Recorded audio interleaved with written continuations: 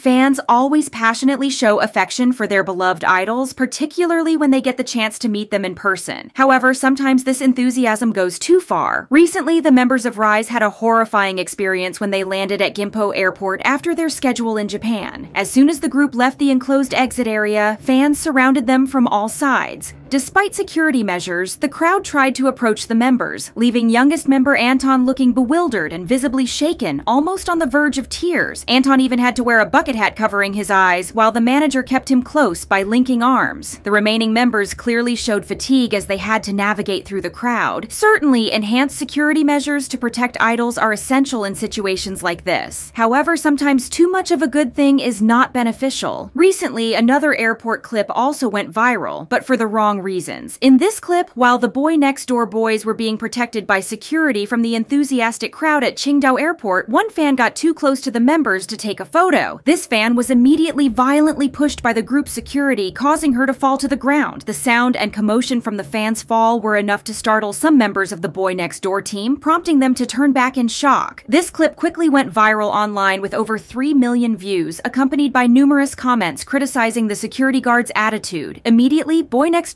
Management company, Kios, a subsidiary of Hybe, issued an official apology for the violent behavior of the security guard towards the fan on December 19th. Meanwhile, security is not the sole concern, but also the stylists of the groups. Recently, fans expressed concern as aespa's Karina continued to experience a wardrobe malfunction, with her dress strap nearly tearing during her performance at KBS Music Bank Global 2023. This incident is not the first time. She's been dressed in tops with tiny straps that have either almost broken off or have broken completely. Karina was not only given two different high heels, but also had the sole of one shoe completely fall off before her performance. What's even more horrifying is that she once wore an outfit with sewing needles still on the sleeve. Hopefully, situations like these will not occur for the safety of the idol. Meanwhile, today, on December 19th, Celine hosted the grand opening event for their store at Siam Paragon Mall in Thailand. Thousands of fans gathered early to catch a glimpse of Lisa and Park Bo-gum at the event. Siam Paragon Mall had to deploy over 200 security personnel to ensure the safety of the idols. With that enthusiastic excitement, the crowd screams out as soon as Lisa steps into the venue, while others are in awe of Celine's global ambassador's dazzling visual. Lisa looked stunning in Celine's leopard print crop jacket and a mini skirt from Women's Summer 2024 Tomboy collection. With bold makeup and her new curly hairstyle, it enhanced her radiance. Alongside her angelic like beauty, Lisa also showcased a sweet